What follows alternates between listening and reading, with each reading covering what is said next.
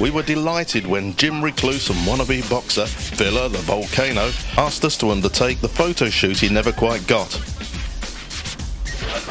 Yeah, so uh, here I am on set with this uh, beautiful warehouse and it's blooming hot. Really hot. That's crazy. After nine years of intensive training, Villa has decided to call it a day and hang up his gloves for good. What? What was that? What? Louder! Whilst being something of a loner in the gym, Villa has formed something of, shall we say, an unusual friendship during his nine years there. Call yourself a punchbag. Call yourself a punchbag. Or you not?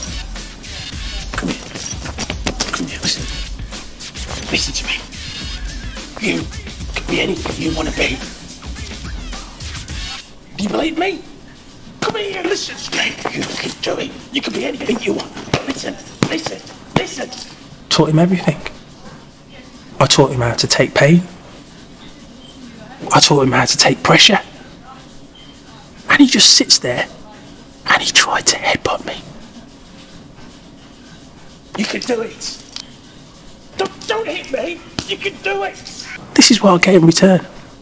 Everything I've done for that punch bag. And he does that to me. And I know you can hear me punch back. Can't you?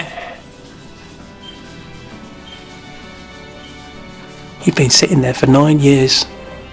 And you hit me today? Naughty!